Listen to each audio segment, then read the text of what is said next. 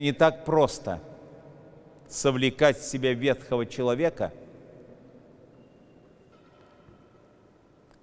который не был разрушен в качестве идеала на протяжении двух тысяч лет христианской истории. Этот ветхий человек как идеал присутствует не только на уровне наших страстей – но он же присутствует как идеал и в художественной литературе, и особенно в современном кинематографе. Он вновь и вновь предлагается нам, этот идеал ветхого человека, как жизненный идеал. Поэтому для нас, современных людей, призыв апостола Павла совлечь себя ветхого человека – означает не только нашу внутреннюю работу над самими собой, но в первую очередь это есть призыв к духовной бдительности, к тому, чтобы мы ветхого человека в качестве идеала не впускали в свое сознание и в свое сердце, чтобы мы ясно понимали, что это проповедь и пропаганда ветхого человека есть дело давно прошедшее – оно там где-то в античной древности. И то, что нам, современным людям, это сегодня предлагается, то это есть не что иное, как дьявольское искушение.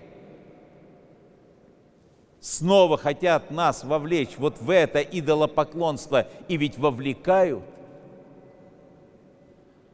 при помощи очень многих соблазнов, ложных идей, ложных доктрин – но чаще всего на бытовом уровне. Когда, устремляясь исключительно к устроению своего внешнего благополучия, мы забываем о самом главном, о своей внутренней жизни, о состоянии своей души. А ведь вот по апостолу ведь это самое и есть важное – совлечься ветхого человека. Церковь Божия несет – через столетия и тысячелетия эту великую весть о новом человеке, созданном по Богу, по Божьему закону, который был явлен нам в образе Христа Спасителя и которому мы должны подражать, которого мы должны пествовать, которого мы должны воспитывать в самих себе – эта проповедь никогда не должна выйти за границы нашего внимания. Наученный вот этим замечательным посланием Колосинам святаго апостола Павла, давайте постараемся не забывать об этих словах. Очень часто ведь бывает так, что слушает человек Евангелие, апостольские послания в храме, потом проповедь священника, а потом выходит на улицу – и через какие-то 10-15 минут, а иногда и раньше обо всем забывает. Как будто ничего и не было, ни божественной литургии, ни причастия святых христовых тайн, ни проповеди, ни вразумления, все проходит. Почему?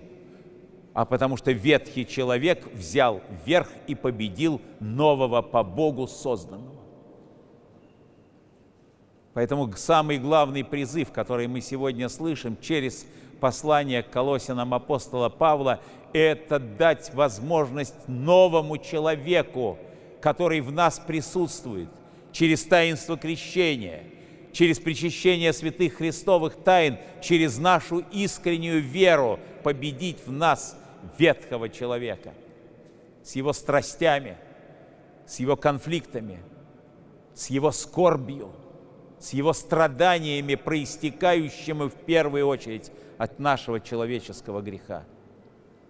И да поможет нам Господь вразумленными быть великими словами апостола и совлечь себя ветхого человека и облечься в нового, по Богу созданного, для того, чтобы, уподобляясь самому Богу в меру своих ограниченных человеческих сил, обретать надежду на жизнь вечную.